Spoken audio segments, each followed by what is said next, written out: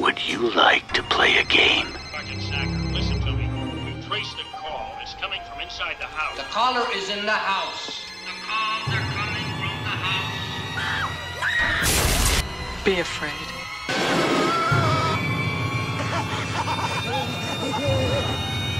Be very afraid. Now stay on the line. Good energy. Scream at the top of your mouth, not too like not at your lungs. Just ah. Ah! Now let me hear you say oh, Oh! and let me hear you say a a. Hey, hey. Okay, A, A. Let me hear you say oh oh Oh, oh, a a hey, hey, oh oh oh, oh, a a. hey, hey. Now smack that ass like a drum. Now smack Oh. that ass like a drum. Now rub your nipples till you come. Now rub your nipples till you come. Out. Kelli's like, ooh, ooh. Hello, everybody. Welcome to Stay on the Line, a horror genre podcast hosted and created by me, Terrah Card. And every week we talk about something horror genre related, usually on Thursdays. We are back with a book review, and we're well, well we're welcomed with uh Kelli Green Ivy. Langley Reynolds. and Tara Call. I meant to put the Oh. and in between y'all because Oh. your full name isn't Kelli Green Ivy. No, it's just Langley Kelli Green. Reynolds. Are you related? Any relation to Ryan? No, I'm Reynolds? sorry, I wish. Oh, Reynolds rap. Burt Reynolds? Burt Reynolds. No? The foil. The foil? I, yeah, I wish that too. yeah. You, Wait, what I'd movie be is really he in? rich. The, The foil? Oh, I need to look up a picture. Uh, he's white. Oh no, Burt, Burt, Reynolds. um, he's yeah, really got a hairy. mustache. I'm thinking of Burt He's like- He's got like super a big hairy, and he was one of the- Sexy Yeah. men of oh, he's dead. Oh yeah, Is he's he? dead. Yeah. No, is he? he is? Remember, like Is right before he? he died. I love her. Right before he died, he like did an interview where he said Sally Field was the one that got away, and then Sally Field was like, "Yeah, duh," and then he died, and I was like, Ooh. At least he got it out. interesting. Um. oh wow, that was very tea. interesting. It was some tea. Um, we're here to do a book review. What did we read? what moves? Oh, you don't I have did. the. I don't have my jacket. It's on the was pretty side. interesting. Yeah, I like the the hardcover thing. I also Mhm. like the rabbit in the inside. It is Mhm. what moves the devil. This kind of looks like the poster to House, 1977 Japanese house. What y'all I just could talking about? So yeah, we read What Moves the Dead by Tink uh, Tink Tink. Tink Kinker, uh, T Kingfisher, which is a pseudonym. Their name is like Ursula something. Mhm. I don't like. Well, I can't say I don't like pseudonyms. Who's Tara Card? Who's Kelli Green well, I feel like some people do do pseudonyms because, like, They Of want people to think weird- yeah. Well, or women. I can't say that because Hypocrite. I am a lady, so I'm going to I shut hate when up. people say. W- Yeah, this was a book. feel? How'd you feel? I mean, you you read this in a in a week. Non spoiler feelings right I now before we get into read it. in a day. It was two days. I really liked it actually. I wasn't sure what to think going into it, and I felt like it surprised me around every corner. I Mhm. stayed engaged the whole time. That's how I got through it so fast. I really loved it. I I- think she's a great author. Me too. I really liked it. I'm definitely down to read other things by her. Mhm. Um, I I mean, I really did enjoy it. Like, I would put it on a list of one of my favorite reads. Same. I liked it. Oh yeah, I like how it's it literally says 'cause we uh, you and I read the author's note Mhm. where she's like, yeah, I literally got this from an Edgar Allan Poe story. It literally is on the back of this book. It says a gripping and atmospheric reimagining of Edgar Allan Poe's The Fall of the House of the Usher from Hugo. So yeah. I didn't think of that until I read the author's note. Wow, I didn't even read the back of the fucking book. I like this book. It's probably one of my favorites now, next to Annihilation, which is very uh, interesting because both deal with spores and Mhm. things like that. I just said and things know, like that. Uh, we have read Annihilation for the podcast, so if you want to read that one too, you can read that and go Yeah. listen to our review. Definitely. Um, yeah. I'm there. Also, Kelli and I, maybe we'll talk about this at Oh, a different Nothing But time. Black and Nothing but Black and Teeth by uh, USA Today bestseller. Girl. Uh, it's by Cassandra Khaw, which you also recommended a book from them. Where Yes. the mysterious book that I don't know where it is now. You just lost it. Um, I They said, well, that's the sound of the police. Um, I, I have to find out where it is. Not my favorite. Not Yeah. my favorite. May, may, we'll talk about that in a different thing. But I think it was only like ten dollars. I'm fine with that. I'm building up my book collection. I think It's um, looking good. I'm gonna buy the hard. this inspires me to read more. Uh, we also, I think, do we want to do this for our next one? I'm, I'm assuming that I'm, I'm- I'm assuming that you you want to come back, even though you haven't. You've been here for five minutes. We'll um, Car- Carmilla, I'm s- I Carmilla? say that because Oh. I'm from Spain. Carm, Carm, how do you guys say it? If you weren't me, Carmia. Carmia. Car- you would say that. Yeah. I know You wouldn't say Carmilla. No. Is that how they say it? Carmilla? double L's? Carmilla Let's make a by Joseph Sher- Sheridan Le Fanu. Mm. Um, edited by Carmen Maria um, Machado. I am assuming you told me this is kind of LGBTQ. Have you read it yet? Supposedly, no, I have not. I was reading a bit of Dracula, and they were talking about just the history of vampires, and that they're obviously in horror and in vampires specifically, it comes into queerness comes into play, Mm-hmm. and so I was recommended that as like a another queer represent- Mm-hmm. representation of vampirism. Yeah. Well, a lot of horror creatures, Mm. like Frankenstein, Creature of the Black Lagoon, have a lot Or a of. card even. Thank you so much. Um, they have a a lot of queer. Not representation in them, but they have a lot of like a lot of queer people can find themselves relating to them. Someone Mm-hmm. who's the outcast, who's been alienated, that's a little bit different. But Yeah. anyways, we're gonna probably read this next for the podcast. So if you want to do that, just um, stay tuned. And then I also got the the dead silence. I'm one. excited This about is this, too. big. This is She big. thick. Mm-hmm. Um, so I'm gonna have to once I go through this. It's in- intimidating. I haven't read a big book in a very long time. I am seeing some on your shelf, so I haven't read them yet. Oh, I bought them. my heart is a chainsaw. Yeah.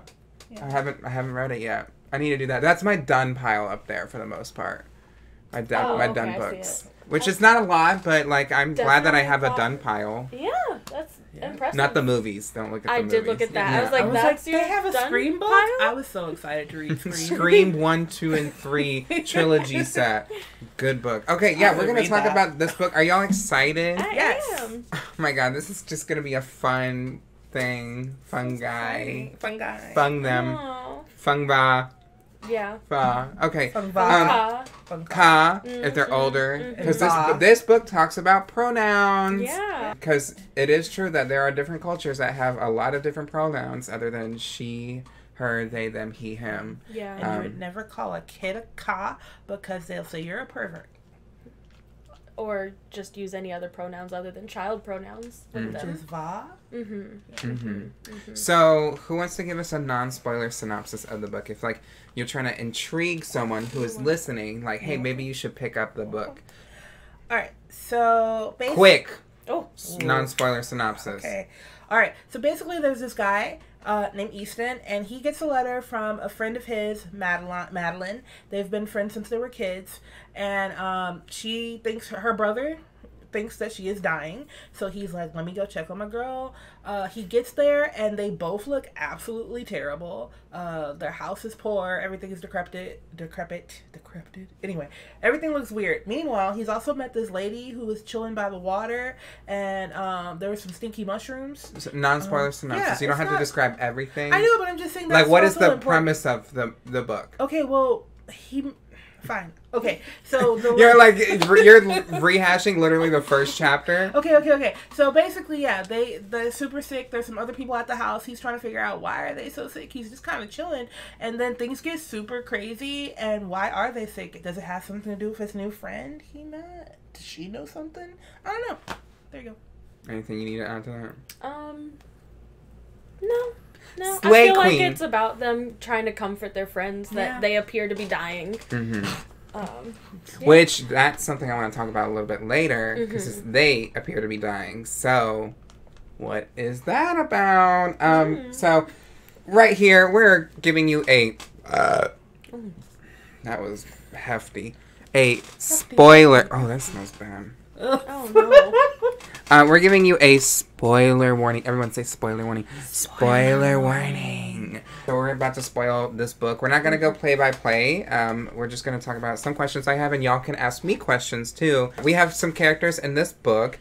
We have Alex Easton, Mrs. Potter, Angus. I keep saying Anus. Oh. Roderick Usher, Madeline Usher, and Denton are kind of like our lead people, and Mm-hmm. then there's Alice. So out of those characters, like, who is like your favorite character out of that? Potter. I really love Mrs. Potter. I love Mrs. Potter. She probably didn't have that many lines, but I kind of fucked with her. I do. I appreciate her. She stood her boundaries. Mm-hmm. She's clearly stated them. So real quick, if someone's not wanting to read this, but they want to know Mm-hmm. who is Mrs. Potter? So Mrs. Potter, they introduced Harry. Oh, maybe she's British.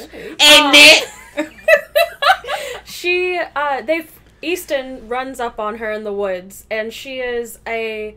He's a soldier, by the way. Right. Yeah. A soldier. Oh, yeah. Um. Just runs up on this lady. Well, He knows just horseback. kinda yeah, I mean, ride up yeah. on her and- Um, she's an illustrator and she's working on the different fungus and mushroom species in the area because she wants to stake her claim. It's 1890, so women aren't really. Taken seriously. Yeah, like so the only job she did have was as an illustrator, and she's trying to break into the scientific world. That's which- cool. I, mean, like it's that. I love hard. the hustle. I respect it. Mm-hmm. And then she drops the little hint that her niece is Beatrix Potter, and I just was so Yeah. excited. Well, who's that? Um, Oh, she illustrated for the Velveteen. Mm-hmm. Yeah, Velveteen she's the real life illustrator of the Velveteen Rabbit and was a What mycologist. Is that? Oh, it's a book. It's a children's like series. Oh, okay. I didn't know who It's that very white well lady Oh, I think it's what is his name? Peter Rabbit? No. Nicki Minaj. No, Peter Rabbit's different. I think Okay, so she's a. she's an illustrator. So that's why they make a joke that's like your tenth in line to the. Right. Yeah. So she's she's just I mean she's just cool, man. I love her. I have Mm-hmm. to respect a woman scientist in the field. Yeah. And she's just like she knows a lot of things. She's here to help. Like Mhm. she's she's a cool lady. She's not made to seem dumb in any aspect. She's not Oh, made no. to seem She's like- hysterical in any aspect, Mm. which I really like. I think that has to do with the writing of T. Kingfisher. Is like you know we had read some books in the past. Um, Yeah. what was it? The Final Girls The by Final Riley Girl. Sager, were like they make these women just seem like the big milky mommies. Oh, yeah. Was lactating, and I told and you this you don't like have built milky mommies, then big you're just milky. What did you just say? bulk. big. You said bulk milky bulk mommies. milky mamas. mamas. bulk milky mamas. But if you don't have the, you know, big boobies, then you're just fat and ugly. Yeah, you're just Yeah. fat. and ugly. Which I don't. I don't remember exactly what she looked like in this. Um, maybe she was a little bit older, was she? Yes, little she was supposed to be older, and I feel like it was kind of nondescript. Like I think a lot of her writing was not necessarily focused on a lot of physical traits to me. Yeah. Except And, for like, the Except sickly, for the people. sickly people. Yes, I think- extremely I detailed think that's there. what mattered. R- truly. Um, Well, we know that um, what's his name? Easton is like short and Mm-hmm. compact. Uh, And I So- really liked Easton. I Easton- I liked him too. I thought they were really interesting as a character. Mm-hmm. And then again, going back to it being 1890, technically, Easton is their gender identity as soldier, Mm-hmm. uh, essentially, but they're. I forgot. Like, I never really assumed Easton as a male kind of thing. Like reading this, Mm-hmm. I yeah, it it, they use like more non-binary. Yeah, they have of- more binary, binary. they have more non-binary pronouns in this, which they explain like con, con Mm-hmm. for like soldiers, and I mean Alex Easton. That can be interpreted as That's true. that is that Yeah. in our society that could be either quote unquote a male or a female quote unquote Mm-hmm. name. But they did talk about them no longer binding, and so I was like, oh, okay. So they Yeah. did bind their breasts, and it was something that was brought up. And they talked about how Miss Potter, when they ran into them, was kind of giving them the once over of like, okay, who are you? Yeah. And the same thing with the American Denton Yeah. later on, but they weren't disregarded because of that. And I Mm-hmm. feel like that and was we did go into the history of how like women did join the war in Galatia, which Mm-hmm. gave I don't know what Galatia is, and I should have looked more up because we both came up with two different answers for where Galatia is on the map. But uh, but anyway, we talked about the women. I feel like that's a Google search. yeah. Well, mine said it was like old Romania and new Turkey. and I uh, came up with a part of Spain. So your turn.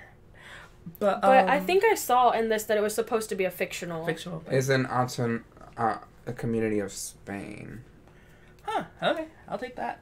Two verses in one, but But I think that's like a fiction. that. Hmm, hold on, because there is like a tiny. Well, yes, one of them says Turkey. So Mm-hmm. is Galatia now in, in now Turkey, possibly, Possibly. Well, but In the Europe. is, uh, and it ain't the fucking we UK. Talked about- It ain't the we- fucking UK. we talked about how the wo- women would join the war- war effort because Because they nothing, needed, bitch, they needed yeah, people. they needed people, and there was nothing in the thing because like they're non-binary um, pronouns. There was nothing that could say they couldn't because it was like either you're you have to be an adult. That's about it. you're That's either a all. Right. soldier or Or you're you're a young kind of young kid. Right. So they were like, guess what? I'm a soldier now. And they were like, ah, shit. All right, let her in. So Alex Easton very well could be anything. I never thought about And I did think about the binding the breast, but I guess because my brain oriented soldier to male in the 1890s period. So I was like, yeah, it was. I just thought up. that they were It's into that up. kind of stuff, so But, I, um, I didn't think about it. So, but I, I'm glad Yeah. that see, it's nice to have other people Yeah, to read nice to have with other that they pick up, because I feel like I don't pick up some things that other people might be reading, and that might just be literal fucking words. I'm dyslexic. Sometimes it's hard for me. Like I'm rereading shit, so it's kind of hard. I Um, but yeah, I- real thick nipples. I also liked Angus, um, just because Yeah. he talked kind of funny, and um, he didn't necessarily sound like this because it's a fucking book. he sounded but I like feel it like- my audiobook. Did, did he sound like that? Yeah, he was definitely Scottish. Skull- Oh, And well, that wasn't a, what I wasn't- wasn't doing. This Well, Scott. that's what he was there. Yeah. Um, Scots. Um. And yeah. I like that he liked Mrs. Potter. Mm-hmm. And Mrs. Potter liked him. Like Like, him. oh, so like, at the end of the book, like, in oh, it's been like only a few minutes since I last saw you, and it's like, oh, yeah, we're doing. Mm-hmm. What were y'all doing? She was like, He's okay. a fun guy. I kind of like. I kind of like the humor in this book. It doesn't have necessarily, and I'll talk. ab- Oh, I'll just bring it up now. Mm-hmm. There is like slight humor in this book that I feel like is not. Like it's not very much like pee pee poo poo fart. It's just like a little kind of something to break the tension. Right.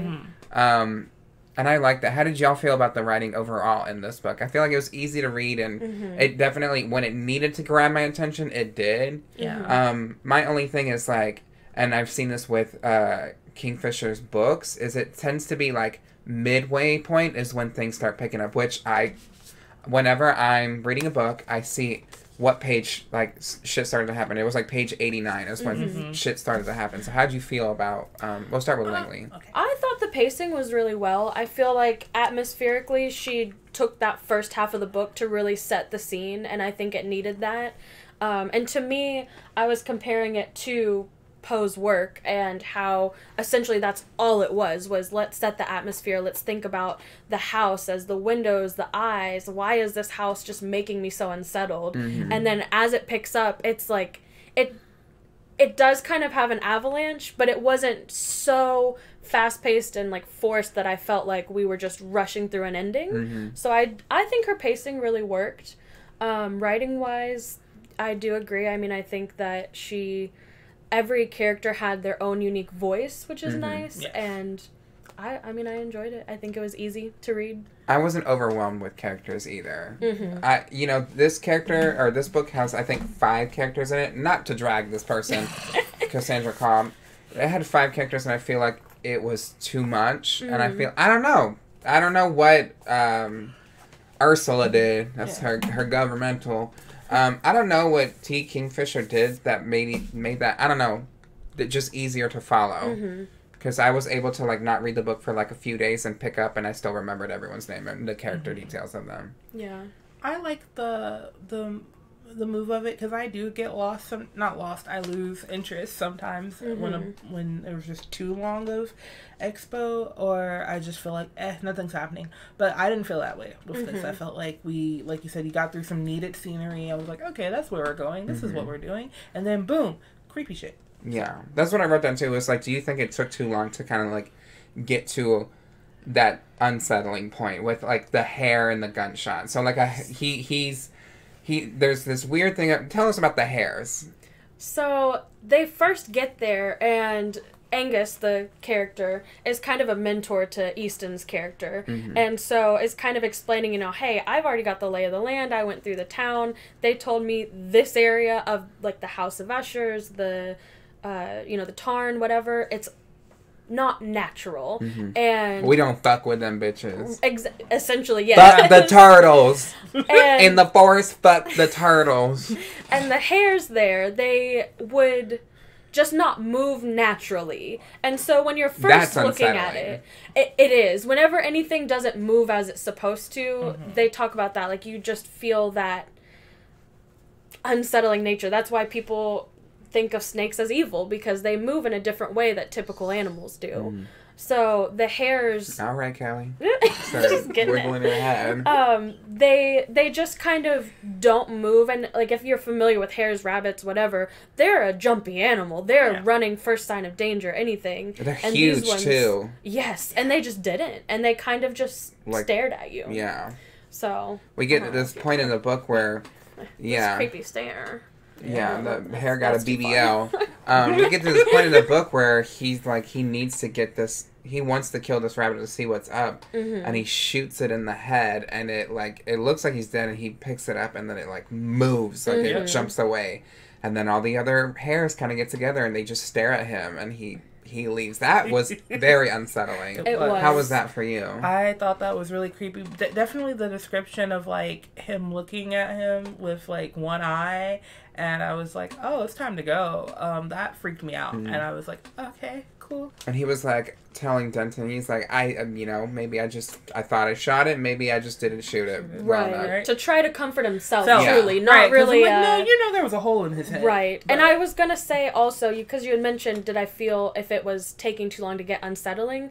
To me, they had described before this that the water wasn't moving properly either. Right. Like when Like they're in the skipping the, stones. Yes. It just like sinks. Yeah. And so that already felt like, okay, what's supposed to be happening here is just not. Yeah. Mm-hmm. Mhm. And I even wrote down at the beginning, like, I, it's not necessarily anything that she's specifically writing and outlining, but you already get that unease just by how Easton's reacting. Mm-hmm. So, and then just not understanding what was wrong with Maddie from first sight or or Roderick and them looking like like it's more than just gaunt. It's like your bones are showing, bro. Like your skin is so pale that I can see every inch of your bones. Yeah. That was already Mm-hmm. unsettling. Like I mean I know what's wrong with them, but I'm like people Like you don't know look when you that. like look at an egg or something like under a microscope and it's just like that translucent, you can see yeah. the veins. Yeah. Mm, mm-mm. Um, since we kind of mentioned the lake, um, what do y'all feel was symbolic about the lake, just in general? Like why why have because the fungus kind of comes from this lake,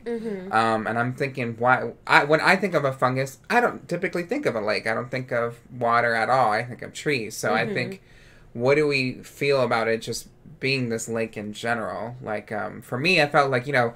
Obviously, water symbolizes life, and I think the fact that the water was acting still in a way and Mm-hmm. the life in the water wasn't normal it was a sim like it was a way of like a new life that's not natural to us so I and I that's and I and I wonder if like maybe that kind of ties into like the pronouns too. It's like Mm-hmm. maybe because the and I'm not t- t- tying in pronouns to like bad things, but like the fungus says like I I just I'm just chilling. You know, the fungus is saying to them at the end through Madeline's body, which is weird. It's like I'm not here to do anything wrong. I'm just here. I'm just new and different. And um and and I wonder if that's kind of like you know a pronoun kind of conversation life, too. Which makes them va, because they are childlike, because they are brand new. When you just reminded me that they are a new life and brand new, that lends back to why they're considered va and not adultified. I just got here. von because va are to for children. Mm-hmm. and ka and con are for adults. And they're like, why is she talking about the the lake or the the the, the fungi mm-hmm. as va? And mm-hmm. that makes sense now because it's like because we're new. So with the lake, did you feel any like? I mean, I think that's beautiful. Actually, I didn't truthfully think of the water. I kind of just connected that together. yeah. So. I think. I mean, I, I like it. Well, what did you? I feel like I I, about the thought Oh. to for me, I wasn't thinking of the water specifically. I felt like it was a way to introduce it in a new like way. I feel like It's like instead of having a big tree, and it's like let's do something different. right that that's kind of what I felt. I guess I didn't read into the symbolism of the lake necessarily, but Mm-hmm. And also, water to me is sense. eerie. You know, we we we're made up of a lot of water. Mm-hmm. We need water to survive. Survive. We drink it. I mean, it's a talking point in this book. It's like, well, we've been drinking the water. Is that? And I just like the subtle end of like one of the um, what are they called? The people in the homes that work there. One of the servants is like, "Girl, we ain't drinking that fucking water. We drinking a well." Yeah. that like that's that's the humor I'm talking about. Where he like looks at, and he turns away. And he kind of, or like uh, Alex uh, turns away and like kind of cries, a little bit. He's like, I'm glad. You're like, thank Yeah. God. Um, So yeah, I mean that's just like what I thought about the water. I Mm-hmm. do like that it was in water Mm-hmm. because it was different, and then you see kind of like the it looks like phytoplankton at night where it's like glowing, Yeah. Yes. and it looks like it's pulsating. Mm-hmm. Um, because even like Denton and uh, Easton are kind of like at the like a balcony or Mhm. something, and they're like looking at it, and they're like, "Bitch, you see that shit?" Yeah, that's just something I kind of like. Now back to Roderick and Madeline. They have a very unique relationship, is what I wrote down in quotes. the both look, the both look sickly, and I wanted to say how long has Rod. How, how long has Roderick been sick? And I said, is he infected? Because he has like the exact same illness in a way. So I I was thinking after we come to the conclusion that Madeline, spoiler alert again, what has Madeline been this whole time, everybody? A A fungus. fungus. A fungus. She's been dead for over a Yeah. month. The letter Which is crazy. got written was not written by Madeline. human Madeline. Yeah, which is really I creepy to even It's think so about. Mm-hmm. But I'm thinking about because Roderick was around her a lot, and what looked like white hairs off of her body was actually fungus, Fungus. Which is creepy. Like just So think of you know the hairs on my arm, like they he just thought, or Alex just thought. mm, Dang, uh, Easton was like, yeah, it's just like off. thick hair that's like ripping off, and really it's just like fungal hair. Find them finding that out on the marbles or on the slab later was really kind her of. death shroud. I'm like, get out of Yeah. that Yeah. fucking mausoleum right now! Oh my god, I was so Yeah. anxious. Um, Wait, I love that part though when he's talking to Mrs. Potter and she's like, "Yeah, they look like little hairs." And he's like, "Let's go, let's go right now." Mhm. And she's like, "What the fuck? Where are we going?" I mean, she was kind of down. yeah, she was though. down, but she was She like, was. "Um, so Um, like, what's this about?" He's like, "We're going to a mausoleum." She's like, "Pause." I think you're a smart guy, but what are you talking about? But I thought, but I just love the intensity of that scene because she was just like, "Yeah, it could look like hair," and he was like, "Oh, hell no." their relationship to go to the brother and sister Oh, right. situation i was going to point out i feel like if we back up all the way back when easton gets there and is joking with roderick and is Mm-hmm. like oh yeah i came here to sweep her off her feet of course He's like, what? yes he reacts very negatively not like oh haha yeah, not my sister What but, do you like, mean? gravely like no hmm. But I thought, especially getting to the end of the book, especially he's and knowing that I don't know, spoiler that he cracked her neck. Mm-hmm. I think it's about him. I thought, hey, yes, he's like, I, you, I want to keep my sister with me, but also you can't take that thing anywhere. That's not even. There's something wrong with her. Well, I It's a think the thing is, mushroom, bro. I think that Roderick knew the entire time her state. I mean, he even knew that she had drowned mm-hmm. in the water and like was should have been dead should have been dead Yeah. for it, and it was hours. It wasn't just five minutes. He said mm-hmm. it had been hours, mm-hmm. and I think he knew that something was wrong with her. And wanted to keep her there. That's why he refused on taking her anywhere. Mm-hmm. But in the letter, she's making the same like, "Hey, you should probably come get me," Yeah. because like, in the end, all what is Madeline wanting to do? She wants she to. wants to share the. She wants to share the va with um the mushroom yeah, with, everybody. But with but Easton Oh, Easton. Easton. because Yeah. he can leave. mm-hmm. He's healthier. he has Oh. the body. She So her she- body is decomposing. Right. She's like, I only live so long, so you need to. So I'm wondering, is he infected? And and- Mm-hmm. and maybe does he just have more control, or he doesn't want to treat it more childlike? But, but if he's infected, he well, he would have to have more control, and also he doesn't. His hair looks stupid, but his body isn't shedding the mushroom. I mean, he still looks very sickly though. That's true. So the way I interpreted it, I I didn't necessarily get the vibe that he was supposed to be infected. I could see him knowing because yes, she should have been dead. He calls the doctor. Something is not right here, Yeah. and he does refuse Easton a lot of times. Like, hey, let's let's go take her to Paris. Let's go get another second opinion. Let's do this. And every time shuts her down because he knows That's something is going anymore. on Mhm. Yeah. to me, I think that I don't think that his illness was related, but I do think that the family, like the Usher line, had something to do with this fungal Mm. infection Oh. because as you said later, the servant brings up, "Oh, we've already known. We've known for generations not to mess with this water." Mm-hmm. How So would they have was- known? And if they've been servants of this household for that long, and there's fungus infecting their books, their library, their like everything is there. So that leads me to believe that he does know and doesn't necessarily want it to continue because he does, spoiler alert, burn down the house and Yeah, kill himself like- and his sister fully. We don't wait. see it on camera. Oh, Oh, I may have missed. Was he in the house? I thought Yes, they dragged Yes. he him out walked the into the house. Mama, yeah. Oh, I thought they dragged him out and then mm-hmm. set the fire. No, Mama. The... No. He he went in the house to set the fire.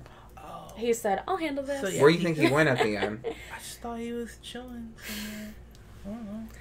I think to me, going back to Poe's, the way he had written it was more like both of them just had a Illness. nervousness disorder. So like extreme anxiety, which we see with him He does. hearing things, seeing things, like Very being jittery. very yes.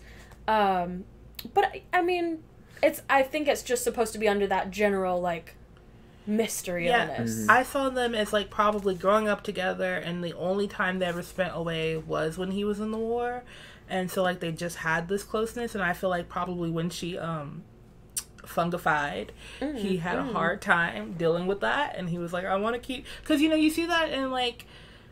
I can't name one right now, but like in other scary movies or uh, supernatural things where people know that this entity is no longer their Living. their loved one, but they're like, I'm gonna I'm gonna stick beside her. I'm gonna stick beside her. So, Um, what did you feel was odd about their relationship as I didn't then? feel it. I I felt like they were very touchy touchy. Too close. Well, because if if that's the case, then why, if he might not be infected to her extent, Mm-hmm. he has to at least be touching of her or be very close to her a lot. Because the only way that that gets on Easton is by like grabbing her and it like rips off. Mm-hmm. So he had had he has to have be physically touching her a lot. Like a hug a day, help her out of bed, help her to the kitchen. He cares an awfully lot about his sisters. What I I'm would saying. care about my especially sister. this 1890s. Sometimes, okay. What about the They were Wright bro- touching each other's booty Remember- holes. No, uh, remember? So like, what about like the Wright brothers who didn't want their sister to get married because they were just like, I wanted to be us three forever. That's weird. And then she was like, Yeah, that's weird. I'm gonna get married. But at the same time, I don't think they had any nefarious thoughts. I think they just wanted to be kids, like they had grown up, and they wanted to keep doing that. And then they did it To me, with that's each other. weird. I Still, think but- that Weird, from but it's not, like, perspective, nefarious. though, he also, she obviously did not want to be there any longer. Well, she didn't yeah. want to be in the house. She said that she didn't have any men to Yeah, look to at her. She didn't yeah. have anything really to Oh no, do. I'm not saying he might not be weird, but I, I'm just I feel like I want to stop it at the point of incest. I don't mm. feel like that's what's happening. I think he might just be. this is a book that I can interpret however Yes, I want. Kelli. Okay, that's fine. I'm just saying, like the Wright brothers. I don't think it's incest. I'm not just saying think that Wright brothers want to fuck the shit out of their sister, Kelli. I, I I can agree though that is kind of weird. Yeah, it is mm-hmm. weird. Okay. Real quick, we're gonna stop talking about this book and we're gonna go to an ad break. An mm-hmm. ad break, Slay Queen. Bye.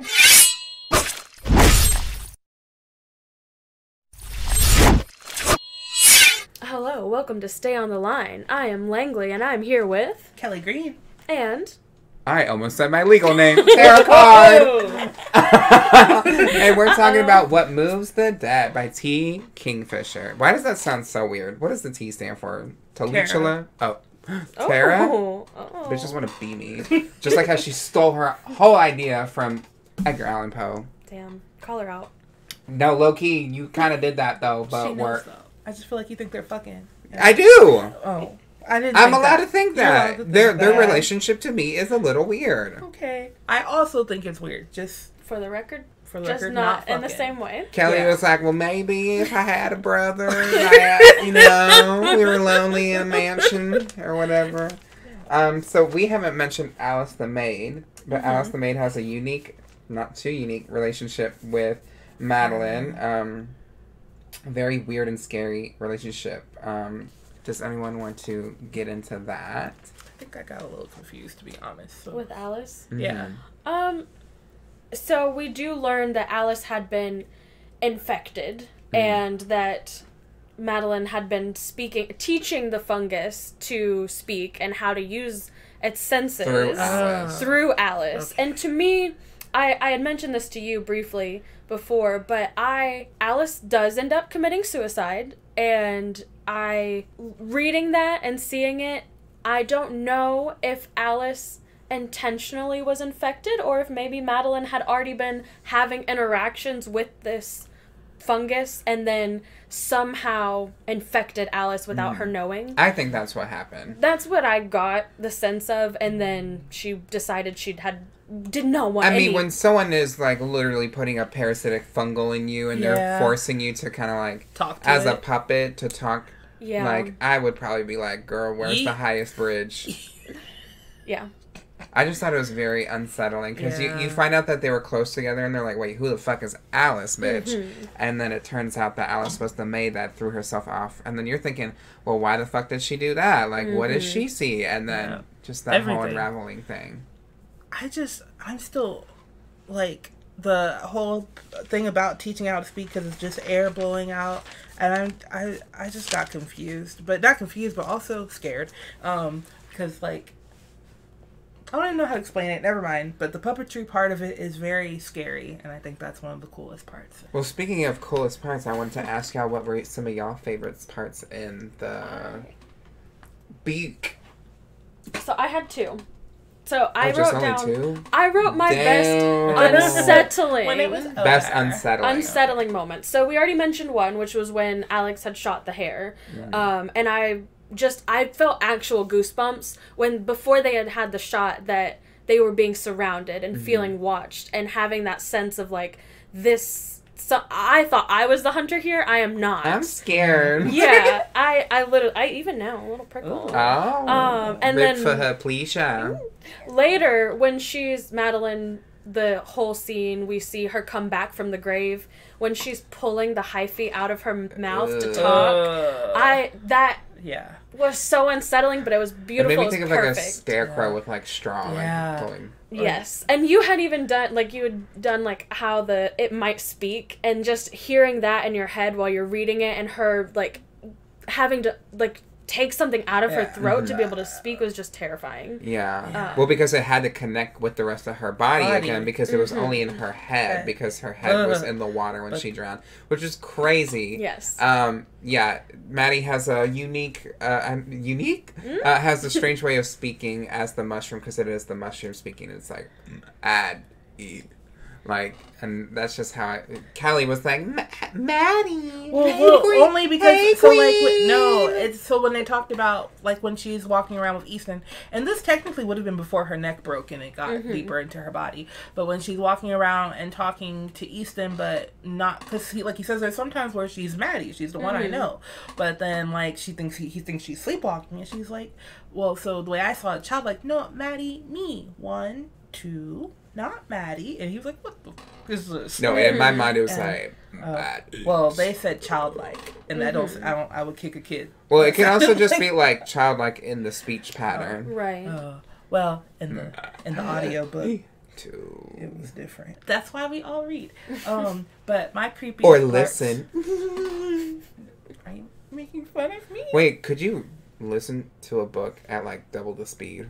Oh, probably, but I would not. Think. That video Trisha Paytas says like which when you slow it down it's gibberish like it's not oh. even actual words But my creepiest parts were or just your favorite in general Oh, too favorite. creepy Well, is Still, I feel like this doubles as a creepiest favorite. It's Maddie and back into the room, but it's the idea of her head just bobbling around. Oh, her broken yeah, her neck broken just- neck, and like even um Easton's like, I had to look away because I was like, girl, you need to stop because she was just like, what do you mean? And then I was like, please stop. Your neck's broken. That's gross. Like he's like, I'm gonna throw up on you. Like at this point, like fear is meaning disgust yeah and then also um but just like uh all that and then them, them literally barricading the door and she's like Alex and they're like bro that's not her and he's like I just want to leave yeah that is I I, want my can get the like the slamming of You the door know? to get out and Yes. it's like this is stronger than what Maddie Yeah. could they be talk about Yeah. her skin like how it should be blistering Blistering off off. because they're Mm. pounding Right. so hard because But-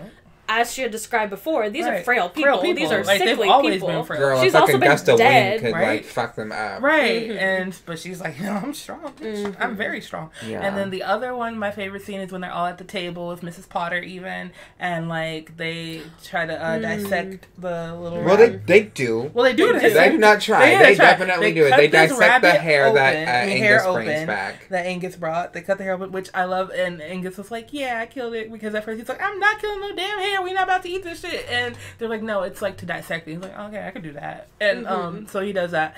And like they dissect it. Like he, they cut his, he- it, it jumps up. They cut his head off, and he's still like, psych, bitch, I'm still here. And like, that's so creepy. Like that is definitely one of the most them describing each organ, organ. being filled with mushrooms, being filled yeah. with the Yeah, like the hyphae lungs. and the Yes. the lungs. lungs were filled with the Yeah. fungi, and then just like I think they like at one point they're all kind of sca- it's like a it's like literally from the movie Alien. Mm-hmm. Yeah. Like they're all scattering as this thing is like walking while its guts are out on the Right. on the floor, Mm-hmm. and I think uh, Mrs. Potter kind of like pokes it with the umbrella to get it to stop, and just the fact of like stabbing into this rabbit that's mm-hmm. already open to get it to, stop, it to stop. moving. right. Then they decapitate it, and then And she's then- like, "Well, you know, it's only gonna be a few hours before it starts kind of Yeah. moving again." So Doesn't Easton like go ham on it at one point? He's like, die, die, die, Yeah. and they're like, bro, it's it's this is it. Like whatever it mm-hmm. is right and now then they is burn dead it, which was get. much needed. Oh, it Yeah. fires, fire, Fire. fire. fire. The fire, Fire. kills it. Yeah, but those are my favorite scenes. Did you have a different favorite scene? I definitely like the the little surgery thing, the dissection. Mm-hmm. Okay, Madeline being gone from the the slab, Mm. kind of Oh, like in the. yeah. It's not a mausoleum, but we've been calling it Yeah. that, like a, mauso- a mausoleum. Mausoleum. um, so what they do is like in most traditions, some traditions they do is like, and this is a thing in Japan, um, is like when someone passes away, you kind of have the body in the home, Mm-hmm. just so that they're kind of like in good spirits. They're that they'll they're surrounded by loved ones Mm-hmm. um, for multiple days, and then also there's kind of the thing where it's like, well, but what if they're not dead? I mean, I've talked about this on the podcast. There's been instances where people were buried alive, Yeah. and Mm-hmm. um, they they go dig them up, and they're still alive somehow. Um, In some Hispanic cultures, they put bells on their fingers, and you wait 24 hours to see if the bells ring. That's yeah, that's in a lot of cultures too. Like Well, I, that's the first culture I heard of. oh, So- they, they yeah they did it in a lot ones like in the UK as well. Oh, cool. Yeah, didn't know it's that. very common. I was just watching like one thing. So thank you. You were like it's Hispanic Heritage Month, so it means. Oh yeah, yay. Um, but yeah, just the fact of like they're setting up to go down here, mm-hmm. Mrs. Potter and Easton, to be like, hey, like I know, like I've seen that fungal before. Like, can we? Because they're talking about like, hey, is there a fungus that can kind of control people in a mm-hmm. pers- mm-hmm. parasitic way? And you know, she's like, yeah, I mean, not people, but like things. This is what it looks like. So they go down there.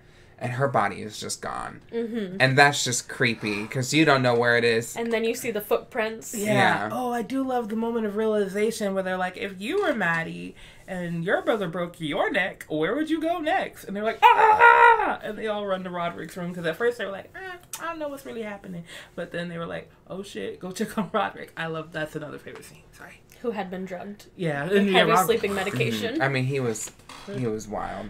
Um, I just like the setup of them and the and like the uneasiness of they're in this dark room and they don't they- they're not they haven't told anyone else in the house about mm-hmm. this. So then that just creates a tension of where the fuck is this bitch's body mm-hmm. because Roderick the day before is like I heard her banging on the door to like come out. Which is mm-hmm. also Oh, that's so unsettling. creepy. Another unsettling thing, kind of like towards the end, is like when Madeline says to Easton, like, I've been dead for over a month. Mm-hmm. That's unsettling. A dead person wrote me a letter controlled by mm-hmm. fungus.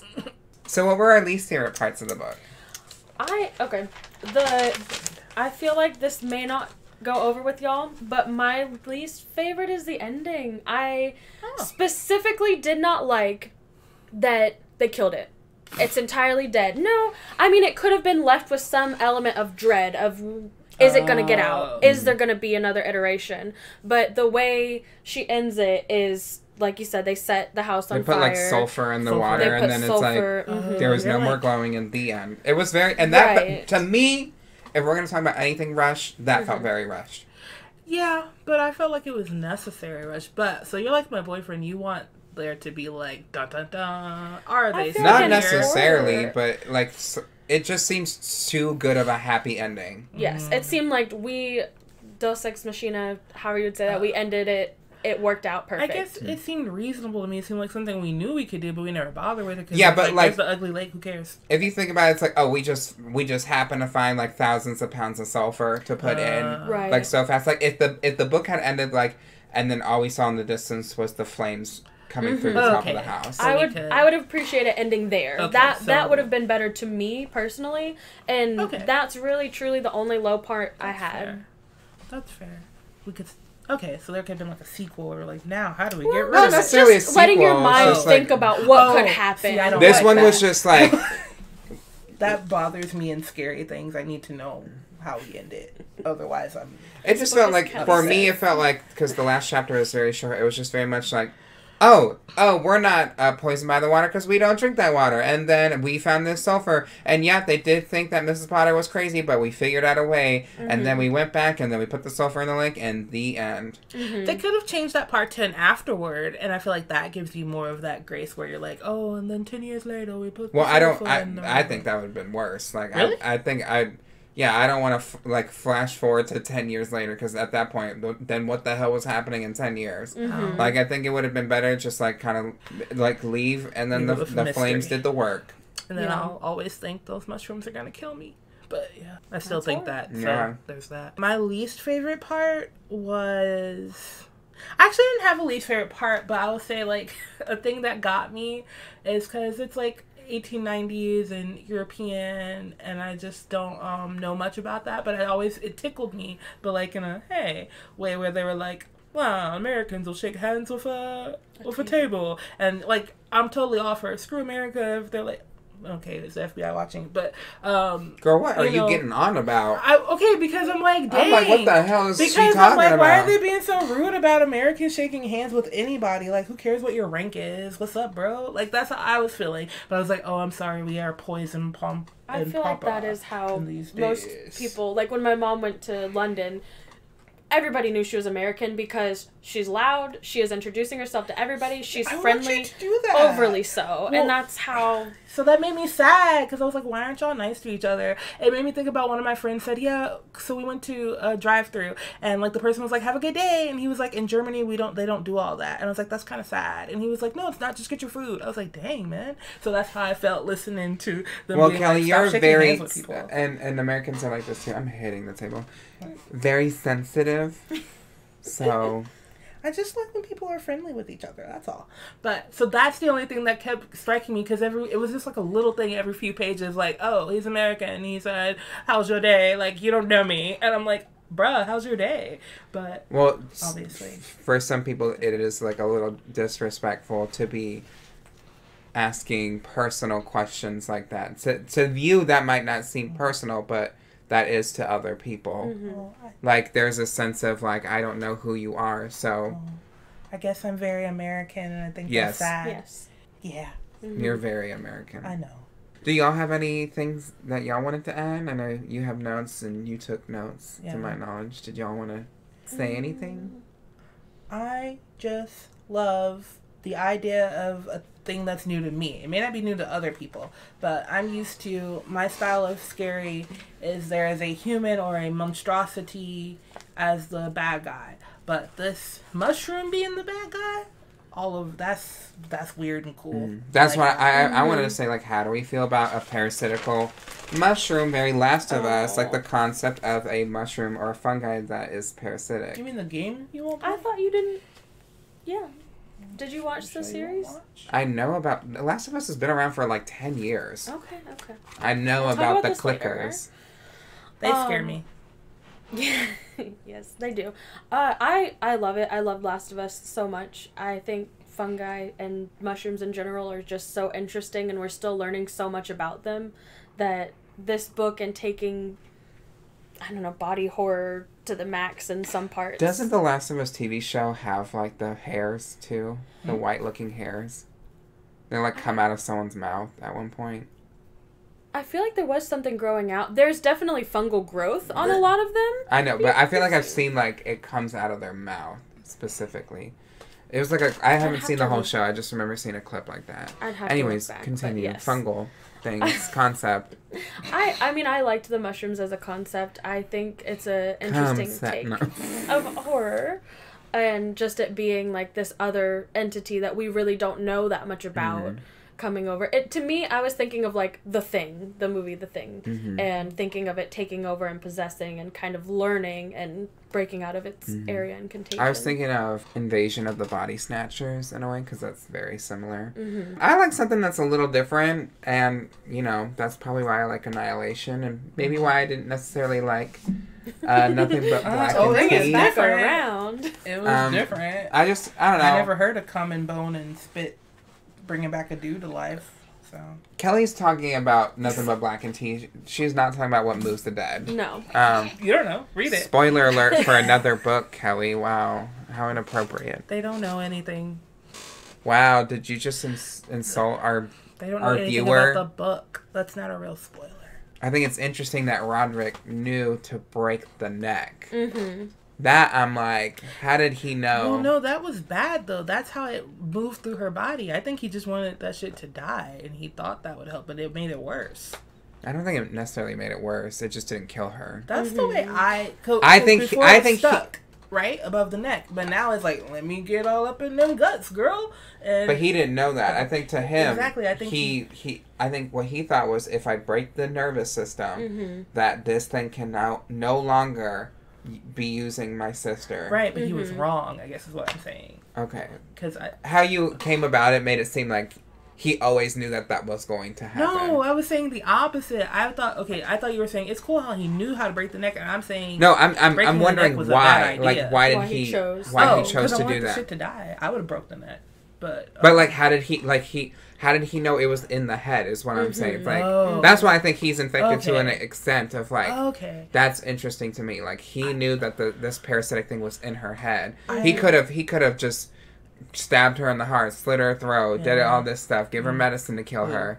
I didn't. Maybe he was already doing that, and that's why she was like, and that's why her body was deteriorating so Oh. much. Is because you know, like Kind of- Well, like you know, maybe giving her things like Yeah. that's why she's not eating well or Oh, things like he's that. I've tried to kill her every night. Um. maybe not to that extent, but Okay. I. So what I the way I saw it was that he just tried something, and I guess in my brain, It's a headshot, very broken neck, something to try. strangling. You know, breaking someone's neck. Because they make it seem like it's so easy on TV. They go The way they described her neck was not just a little. Yeah, it looked was like she like a- fell Oh, down yeah. the stairs Well, and landed on her neck at a ninety degree angle. Mm-hmm. Well, I didn't know what happens to your Kelli, head how once- strong do you think normal people are? I don't know. I really don't know. I'm Kelli. Langley, thoughts? How strong people are. No, just maybe. I don't know. Do you have any? thoughts? Yeah, any final thoughts about this book? Um, I feel like the one thing that we didn't necessarily close out on, why did she choose to be infected?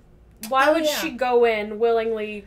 Like, was she just she was Well- bored. Was she just she lonely? literally well she so she had drowned it and it went Mm-hmm. in her and she was like you know what there's been no man that came here to give the the attention that i wanted i deserved something and this is the only thing that's given me the attention that i deserve Mm-hmm. so i saw that perspective now was she valid in her things no it's giving crazy Yeah. so that's how i felt One can about go it. crazy when faced with loneliness for an extended period of time. Mm, mm.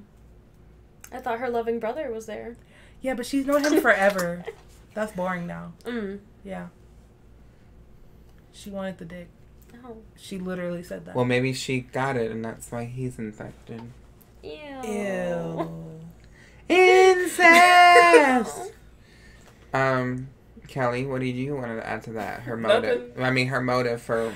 Oh, no, I think she was lonely. I really think she was like, I'm bored. There's nothing else to do. And I mean, maybe she didn't mean to like drown, but once she mm-hmm. did, she was like, I'm going to play with this stuff because it likes me and I'm mother. And people do have a yearn to be needed. And even if she was. Is the call coming from inside the house? No, but even if she has fun hanging out with her brother, literally, like we've been doing this since we were kids. I don't care, but this mm-hmm. is new. This needs me, and I'm teaching it, and I'm gonna grow well, it. remember back to the thing about the lake and new things and the. Mm-hmm. Yeah. fungal thing. This is a new life for us. This Yeah. is something new for her. The change that something she something exciting. Made. Her brother got to go off to war and see other countries. She's just been sitting here being here. So you think going to war is great? New and no, exciting. however, Yeah, very American of you, Kelli. However, Very American. However, back in the day before World War II, which this is people used to treat war a little differently. They did used to. I mean, it's still. I mean, awful. Like Denton Damn, literally Kelli like- loves war. They talk about war flashbacks in this book. I know. I was and just how there's about like, to say. and how there's PTSD. tra- yeah okay, trauma. listen. Yes, they do talk about the trauma, but people still have like this different idea in the older days about war and about how it made you valiant. And yeah, he's got PTSD and he's really fucked up. But still, she might be thinking from a civilian's point of view. He got to see other countries. I didn't get to do anything. I'm gonna feed this organism.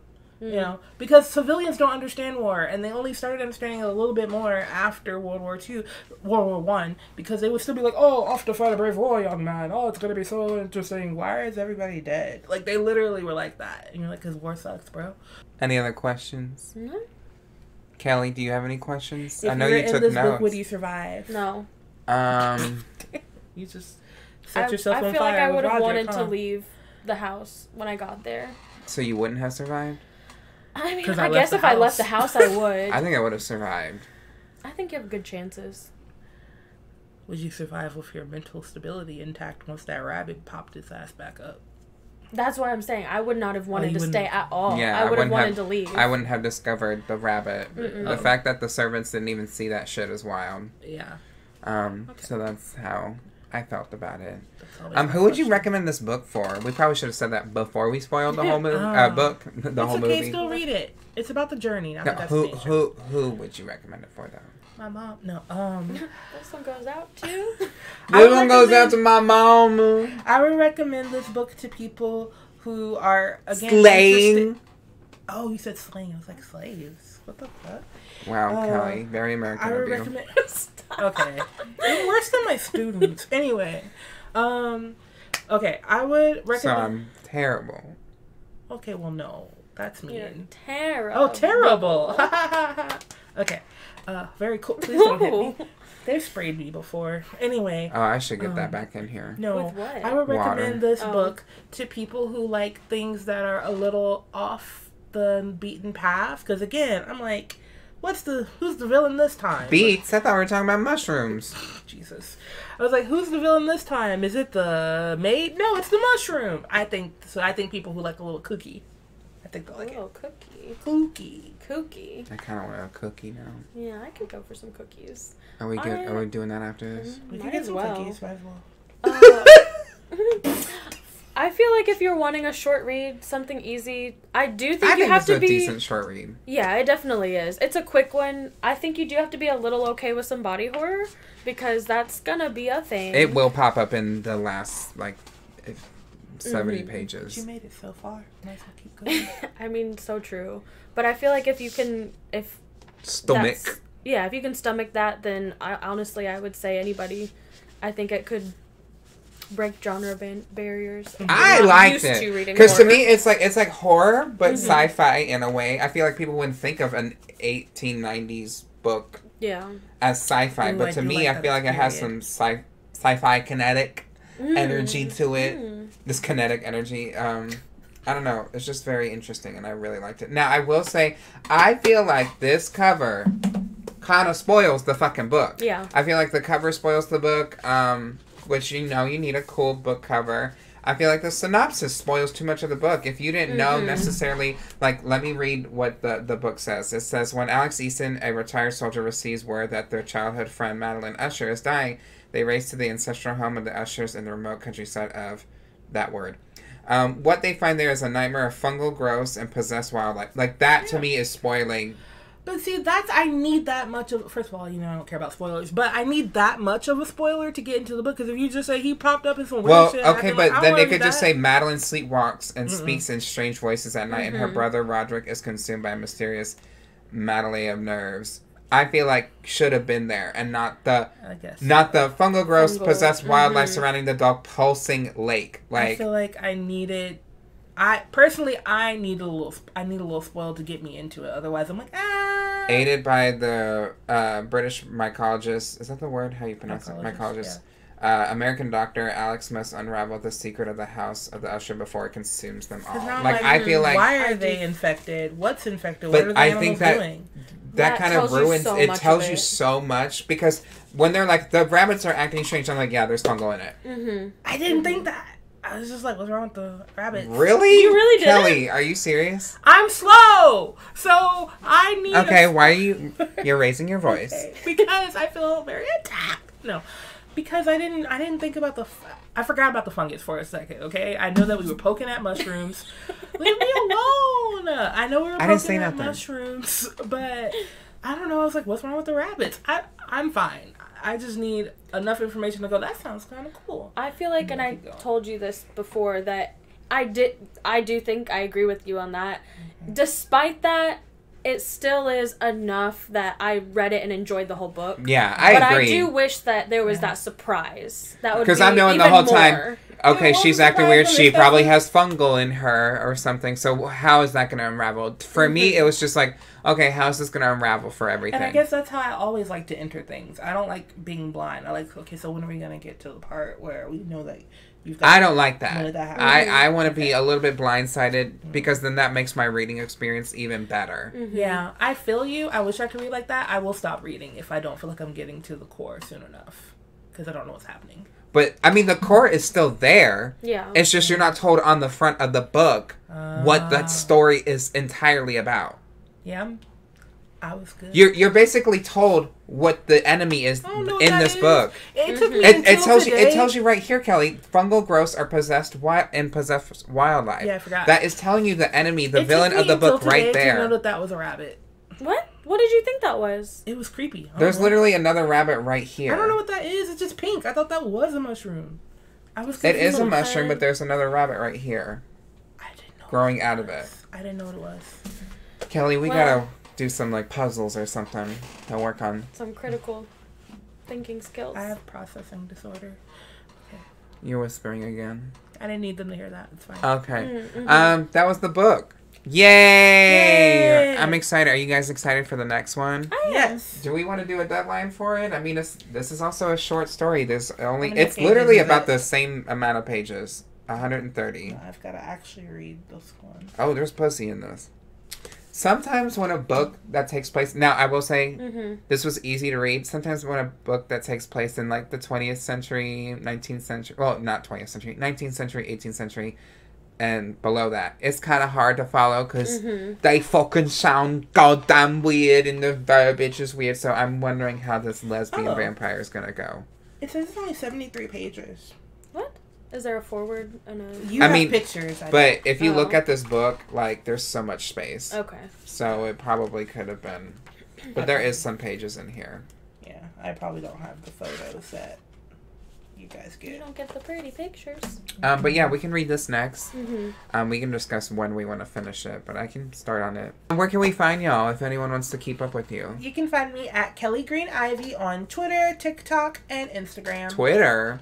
Oh, I'm not calling it that. So Twitter, if you you know. Dead you know. name her. Oh. Mm, You know what? He oh, dead names his own trans kid, so he Wait, can. really? Yeah. Yes. He's very transphobic. Mm-hmm. I don't know. And he did. kids. He literally bought Twitter just because he was like, it made my kid trans, and I feel like I need to ruin that thing. Then that's Yeah, literally gross. was his motive. We 40 40 like transphobic people are fucking insane. Like you just J.K. spent 40 is a nut. you just spent 44 billion dollars because you hate your trans kid.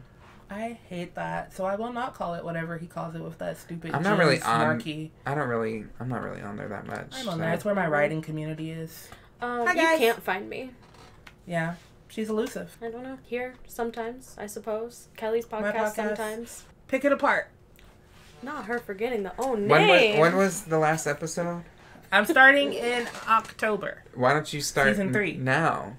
Season three? Yeah, season three. Bitch, you want to beat me so bad. Are bad. you on season? You're on Girl, I got four, 100 episodes. I'm, I'm on Oh. season three. Well, I don't have hundred episodes. I'm just on season three. Mm.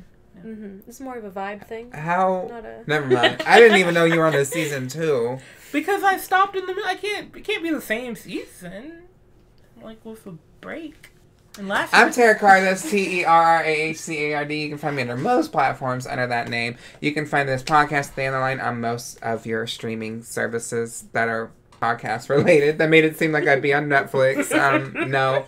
Fuck Netflix Peacock. and fuck Disney um, for not paying their people. Yeah. You are literally billionaires and you can afford it. What I would love is if you rate and review this podcast on either Spotify or iTunes. We have 20 reviews on Spotify and they're all five star ones, which you don't have to give us a five star, but that would be nice. And then we're on iTunes as well too. I wonder if there's any um, newer ones on iTunes. Um, we're also on Patreon, which I want to pull up the Patreon list. So if you want to really support the podcast, you can on Patreon. That's patreon.com forward slash stay on the line. So we have three different tiers. There's the a phone that's on the floor. Um, we're at three different tiers. There is the ghosted tier, which is the one dollar tier. You just like get early audio of the podcast, and then um, yeah.